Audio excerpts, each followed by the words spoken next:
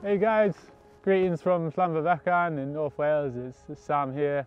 Thought I'd bring you along today. We're going to go on an adventure on a mountain bike into the snowy mountains. It's forecast to be an absolutely stunning day. As you can see, there's a bit of cloud out at the moment, but hopefully this clears off. Let's do this. Lockdown certainly hasn't helped me a whole lot with my fitness. Oh. I watch a lot of vloggers on YouTube. I get a lot of inspiration. I follow a lot of local filmmakers. I get inspiration from them and I think it's amazing what they do. And I thought, you know, maybe I'll try an adventure vlog. I've tried vlogging in the past, but more indoors, still camera sort of stuff. But I thought I'd give this a go.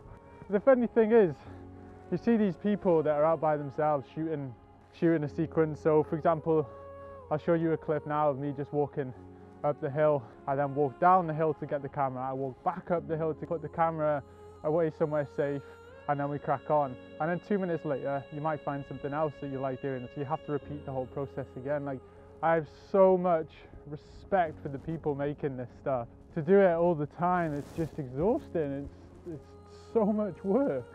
Just a simple man pushing a bike up a hill.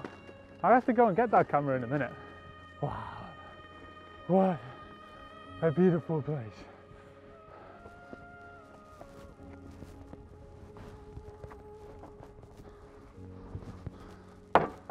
Not smooth at all. We've hit the deep stuff. I say deep. It's Welsh deep, maybe two or three inches. I think it's gonna make it quite good work. Good? Tough? I'm thinking of putting the drone up in the air and see if one of the follow me, follow mode works, but never had the best of luck with it and I've often had the drone flying away in different directions when I really do with it not doing that. But we'll see how we get on.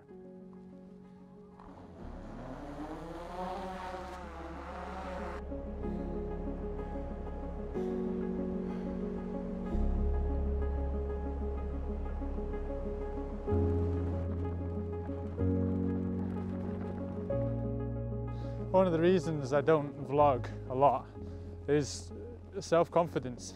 I find it difficult watching myself on camera and I've just passed the couple and a dog walking past me and they were just watching me put a camera down so I could cycle past it and then put my bike down and then go pick back up the camera and they must have just been thinking what is this guy doing? Why is he doing that?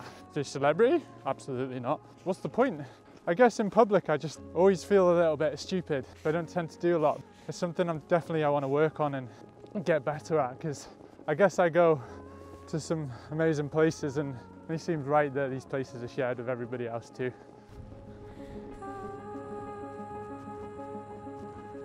Just got to the Druid Circle. A lot of local people will know about it. It's basically a circle of stones with a massive historical significance, a place where a lot of families aim to get to when they walks. I've got loads of amazing memories here. I've been here with so many different people. It's a really, really amazing place and it looks even more special now in the snow. Um, here it is, Gigi the bike. We're gonna head down that way towards, I guess towards Conway.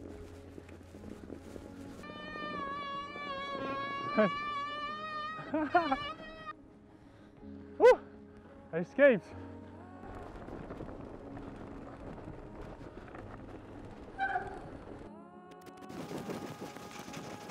This is such hard work. I don't know how people do this, I do. But it's hard.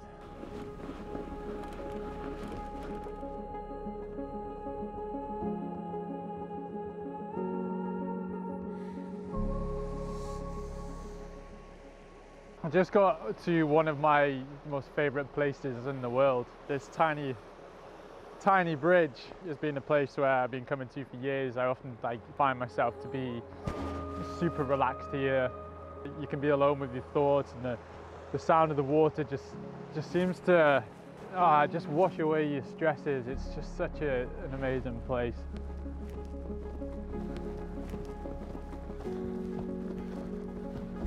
This really is something special. It's just stunning. Pretty hard on the legs though. So I've just got to the far side of Tal y Fan, which is just over halfway of our uh, route today. And this incredible view just opened up. Uh, the Northern Carneddau, Drum and Foel Fras, and the sun is just beaming on them. It's such a gorgeous, gorgeous day. As we go further left, we start to see the Southern Carneddau, looking further down towards mid Wales, the Conway Valley, uh, and over there to the Irish Sea and all the beyond. Maybe something I should have thought about a little bit more was past noon, the snow just got so soft and it's like riding through sand. I'm so tired.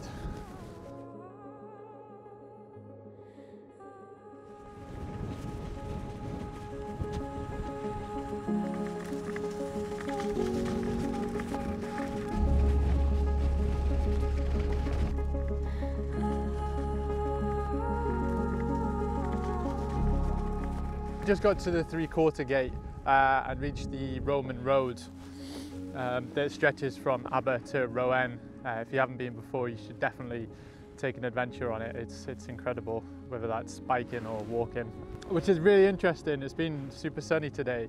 And if we look back beyond the pylon, like along the skyline, that was really white this morning. It was covered in snow and now it's just basically disappeared. So I'm super happy um, I got to adventure out whilst it was still white on the ground. Gonna turn the camera off for a bit now. I'm not gonna lie, I'm a little bit apprehensive of this uh, really icy road down here, so I'd rather not bust the camera and catch you guys soon.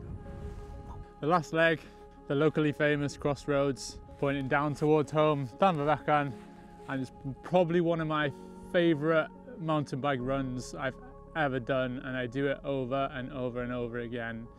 It's so flowy, it's fast, uh, it's just amazing, especially when you combine it with a descent off Drum as well. Again, if you haven't tried it and you're into your mountain biking, it's phenomenal. And when we're not in lockdown, you can also basically roll all the way down to the seafront and end it with a latte on the beach.